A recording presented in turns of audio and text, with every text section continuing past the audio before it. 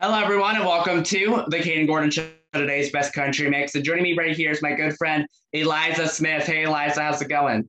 Good. How are you doing? Good, good, good. So, kind of tell us a little bit on how you got your start with your music.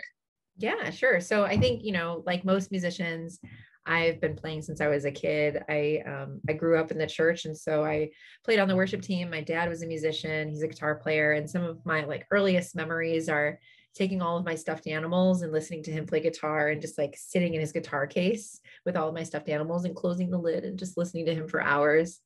Um, so I decided I wanted to do music, and so I went to Berklee and um, and then I decided that uh, well, I graduated during the recession, so it was just really, really hard to find work and live. And so I uh, went back to school and got my master's in education. And when I was there, um, Garth Brooks and Trisha Yearwood decided that they were going to come and give this talk about, you know, their philanthropic work and stuff that they've done in education, and also um, just their lives in the music industry. And so when they were there, you know, they were talking, and Garth had mentioned that he gets stage fright, which really resonated with me because even though I had been performing for a long time, I had developed a really terrible sense of stage fright where I couldn't get up on stage. I would shake. I'd forget the lyrics anytime I messed up, which is like, oh, I mean, often musicians mess up all the time, but anytime yeah. I mess mm-hmm. up, you know, anytime I mess up, I just like freak out. And so, um, so I wasn't performing at the time. And so he mentioned that he still gets stage fright, which like really resonated with me because I mean, he plays to like 80,000 or more, a thousand people in one go. And, you know, he's been like entertainer of the year many, many times over and so that really resonated with me. And so after the talk there was like a q&a portion. And so i raised my hand and i introduced myself and i said you know like how do you get over your stage fright? And he um he asked me my name and i told him my name and he asked me um you know like well what do you play? And i was like well i play guitar and i sing and i play country music. And he got this like little smirk on his face. And he was like well this is what we call being baptized by fire. Get on up here and play us a song. And so he invited me on stage in front of him and trisha yearwood and the you know 300 or 400 other people that were there that day to, to play a song. And so i got up on stage and i played and and afterward um, i you know i kind of hung back and waited for everybody to get their autographs or whatnot. And i just went up to him and i was like you know what? I'm really grateful. Like you've really changed my life. And he gave me my, his guitar and he said well you just got to get it after it and go for it. And so um gave me a huge hug and and that's what i've been doing. And so I'm currently releasing my debut full length album, which is called Baptized by Fire. And it was produced by two people. So it was produced by Caleb Gilbreath, who was the former um, music director and drummer for Brett Eldredge. And then also um, Eddie Bayers, who is the official drummer for the Grand Ole Opry and also has drummed on like many, many, many of Garth Brooks's uh, records. So it's kind of cool to see it like go full circle. Yeah, absolutely. What is one thing that you most enjoy about doing your music? Oh my gosh, one thing that I most enjoy. Uh all of it. I mean, I love, you know, being in the studio is so cool because you are really like kind of holding yourself up under a microphone and it, it gives you a lot of time for reflection and, and thought and, you know, just listening to how you sound and, and really paying attention to your instrument you know that's a I, I love doing that. But then also when you're in the live setting just like having a blast and you know um, being in the moment of the spontaneity of being in a live setting is super fun. And um, you know especially when you know the crowd is like with you and and you know you're with your musicians and everything's like really flowing together uh, it's a blast. It's a blast. So i think you know yeah all of it. Yeah absolutely I get what you're saying. If you could duet with any uh, country singer, who would it be and why? Justin Lynch because he's super handsome and because I love his low voice. mm-hmm. I yeah. miss, you know, he's been doing a lot of stuff in his higher register lately, but his early stuff is like way down there, way down in that deep baritone. He's got such a good voice. I would do a duet with him in a second. Do you have someone or something that inspired you to start doing your music? Yeah, so I actually today I just released a song called Nashville Angel, which is about my grandmother.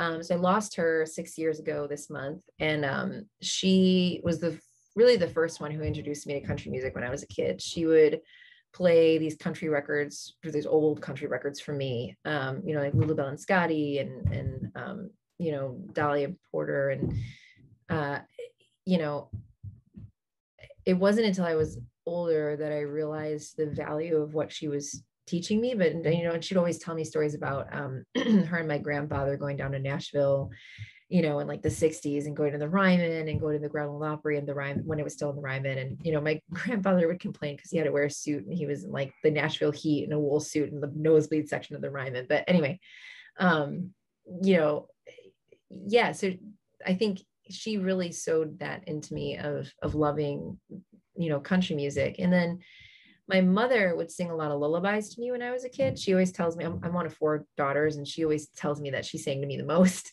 Um, but you know, she'd sing me all these lullabies, and then it wasn't until I was in high school that I realized she was singing like Woody Guthrie and Peter, Peter Paul and Mary.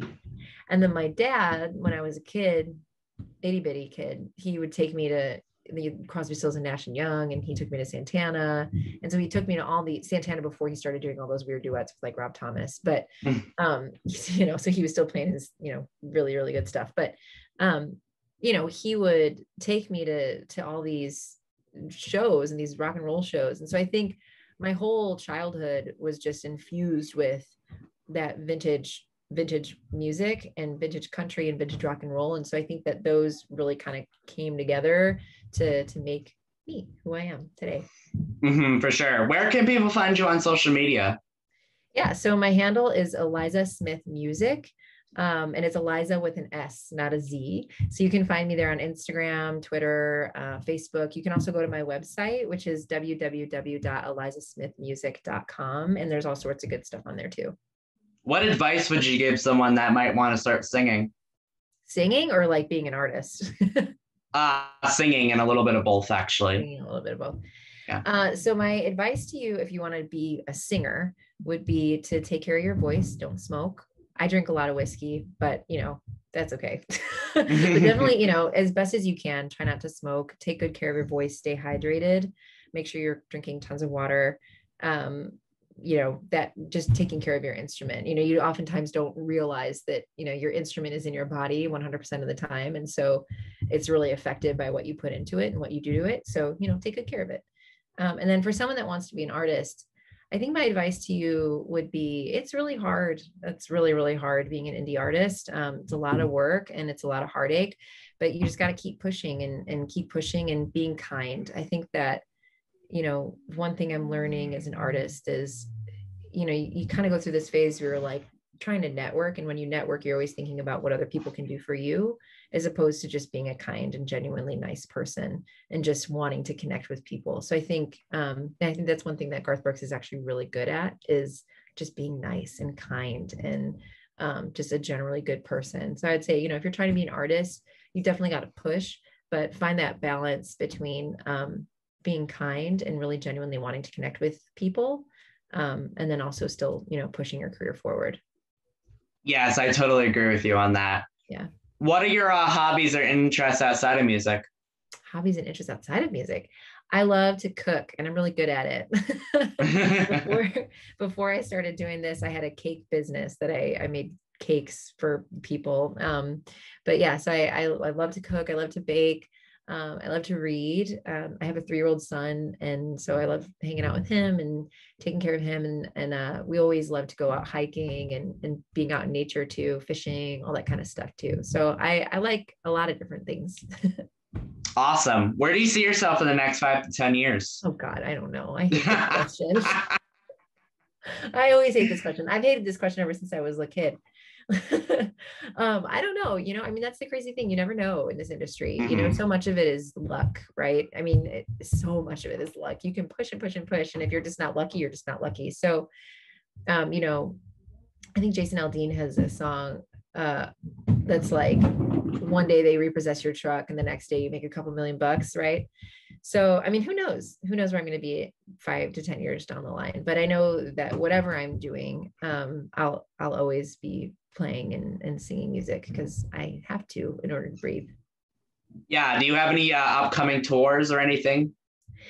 Touring, not so much right now, just because of you know COVID is right. still mm-hmm. doing its thing. Um, but you know we are certainly starting to play out a little bit more. So I have a, a gig this weekend at Appleton Farm um, on the seventh, which is going to be really fun. I think they're doing like a an outdoor beautiful pizza thing. They have this like super cool pizza oven, and they do these events. Um, mm-hmm and that's outside at Appleton Farm in Ipswich, which is beautiful. And then on the 12th, we've got another gig, which with a full band at um, Loretta's Last Call, right after the Sox game, which is always a blast. So if you want to come down and party a little bit, that's always a good good time.